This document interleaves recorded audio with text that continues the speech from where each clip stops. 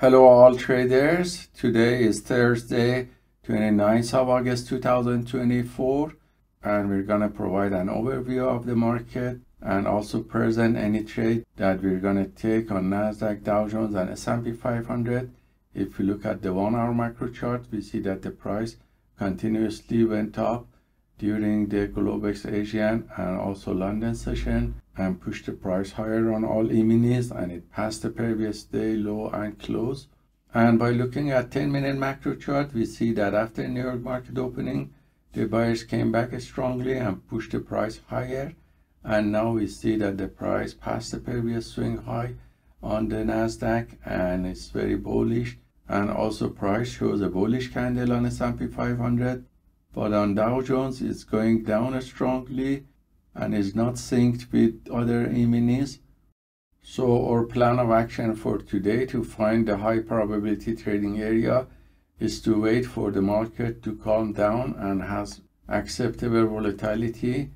So we're gonna wait for some deep pullback and take long positions with setup B, C, and T as usual, which in Nasdaq is around this area of the support and maybe it goes even lower to the previous day low. And also on S&P 500 we have several level of support that the price can retest this and bounce back. And also on Dow Jones we have this level of previous day low that we are very close to that. We can take that if the market rebounds with setup B, C and T. So stay tuned and we're gonna update you with any potential trades that we're gonna take today Hello everyone, we're just back and I was looking for the video and noticed that the camera was not recording during the live trades. So I'm gonna just go through the trades that I took and we can see now after market the area of entry and exits here on Nasdaq, Dow Jones and S&P 500 it was around 1020 and if we look at the 10 minute macro chart we can find that area and as you see we had deep pullback on Dow Jones and also some slight pullbacks and rebounds of the price at this level of support on S&P 500 and on Nasdaq also.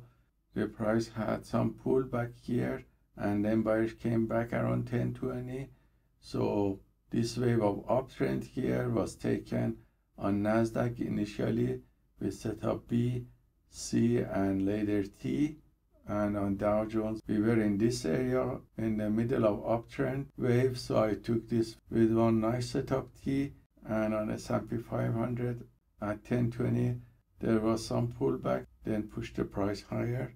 So I took this with setup B again and all these six trades were copied by copy trader to multiple Apex Trader funding accounts.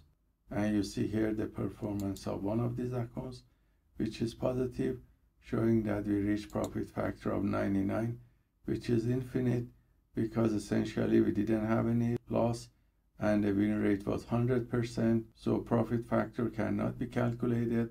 Also average win to loss ratio cannot be calculated. But you can see that the average winning trades were about 178 and the largest winning trade was $395 so I hope this trace taken by the PAAT system for faster scalping is useful for you and let us know if you have any questions. Have a wonderful day.